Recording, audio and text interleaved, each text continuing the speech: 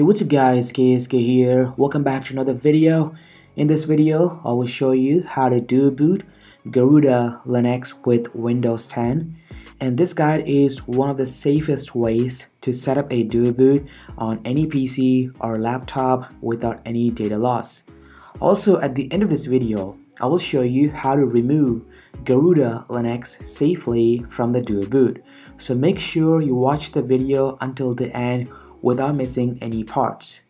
Now keep in mind, this guide will work for both BIOS MBR as well as UEFI GPT users, meaning all modern computer users can use this guide to dual boot their PC with Garuda Linux on their existing Windows 10.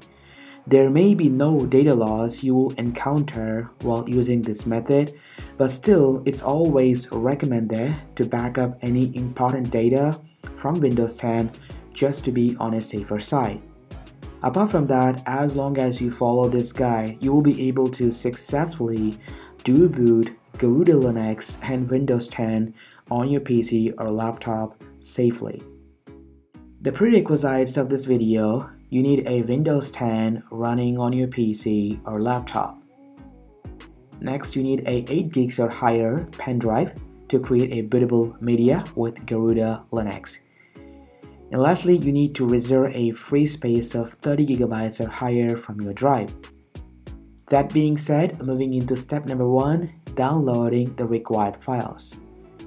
Now open your favorite browser then go to the official website of Garuda Linux and download the latest version.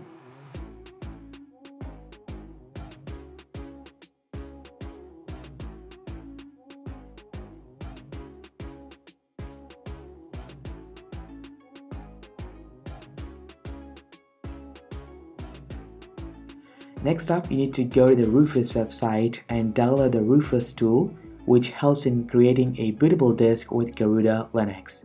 Step number 2 Creating a bootable drive with Rufus.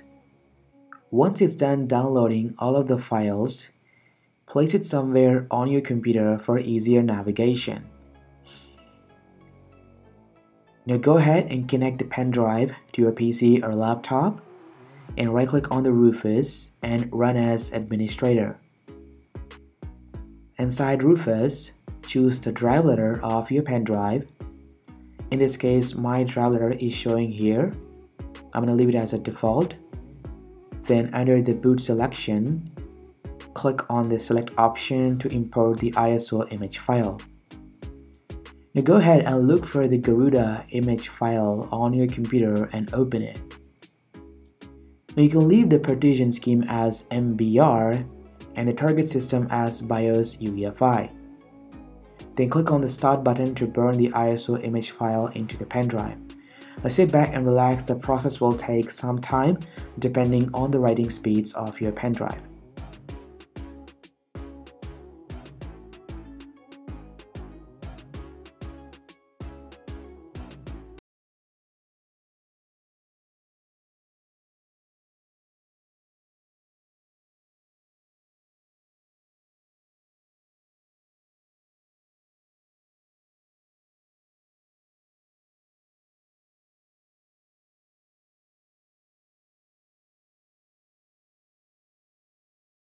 Step number three, allocating free space for Garuda Linux. You open the search menu on your Windows computer and type diskmgmt.msc to open the disk manager. Disk Manager is a tool that helps in creating a free space for Garuda Linux from the same drive where Windows 10 has installed. Now, as you can see, this is my drive 0 which consists of three partitions. The first one is a system partition, and the middle one is a C drive, and the last one is the recovery partition.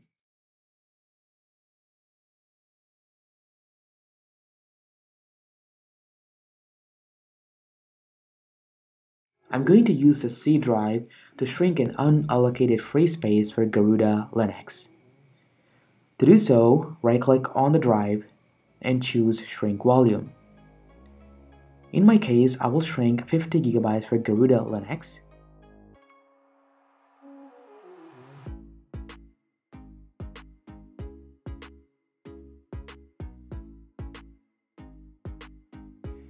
And as you can see, an unallocated free space of 50 GB has been created successfully.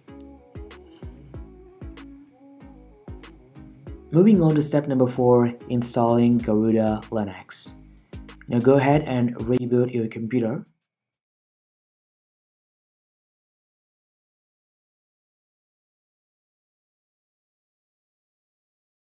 While rebooting your PC, press F10 on your keyboard to open the boot menu. Here you can select your drive name. In this case, it is showing my drive as SanDisk. And I'm going to choose this option to boot Garuda Linux Live Setup. You can only use this boot menu option if your pen drive is not automatically booting into Garuda Linux Live Setup.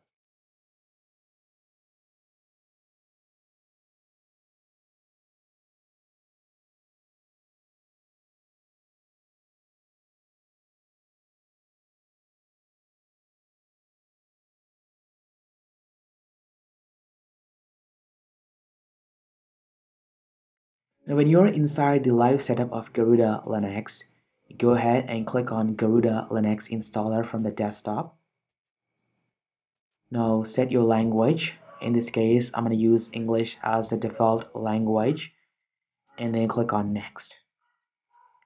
Now choose the time zone and location from here.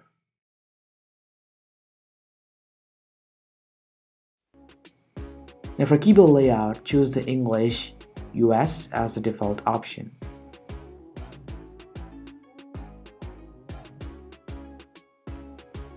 Now here you will be presented to the partitions manager. As of now my PC has only a single drive connected. You can select the appropriate drive from here. In this case I have chosen the Samsung SSD. Now go ahead and select the replace partition and choose the gray color partition which is the unallocated space we have created in Windows 10. The installer will automatically going to manage everything by installing Garuda Linux on this partition. Now go ahead click on next and create a user account.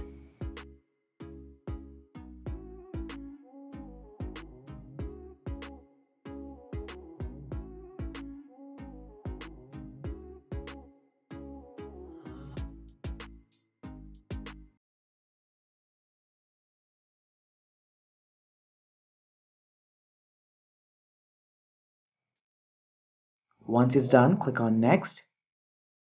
Now go ahead click on install to start writing Garuda Linux.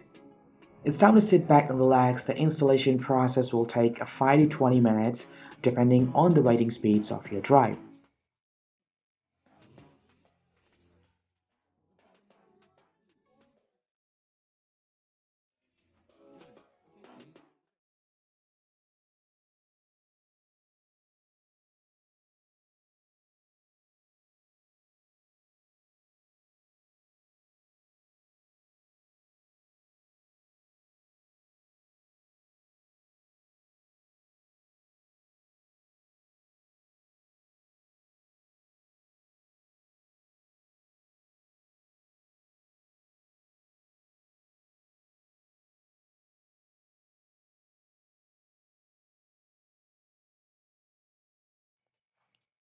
Once it's done, go ahead restart your computer by removing the bootable media.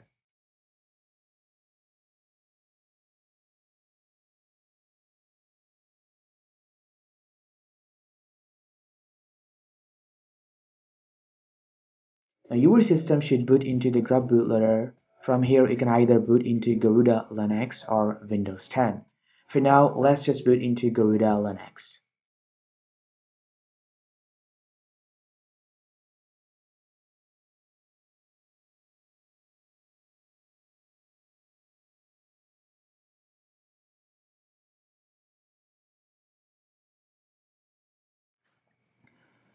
The bonus part of this video is that if in case you don't like Garuda Linux and decide to uninstall it, then reboot your computer to Windows 10.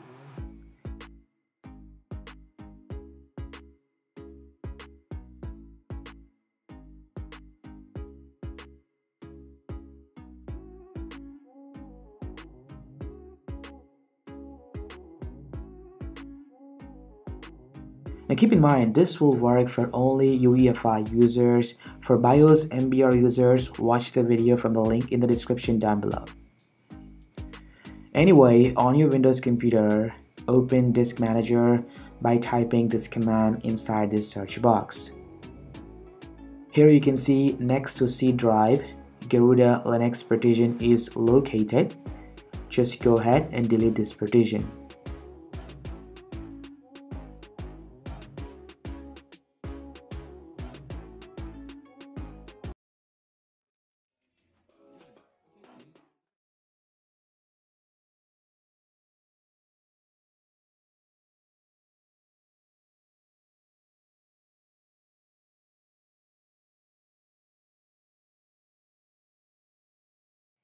Once it's deleted, you can use this unallocated free space to extend the C drive.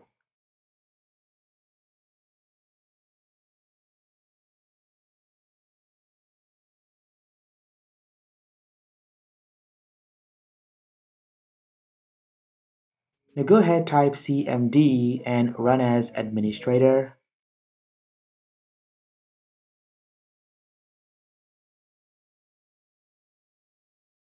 and here type diskpart. Now type list disk. This will show all of the connected drives to the computer.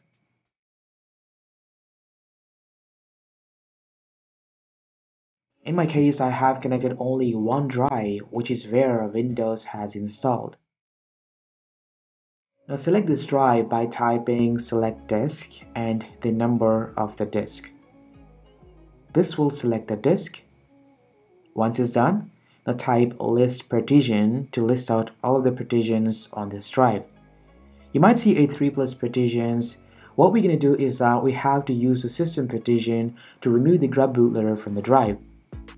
To do so, select partition 1 which is a system partition by typing this command. Once it's selected, type assign letter equals to x to mount this partition temporarily. Now type exit to get out of the Diskpart Manager.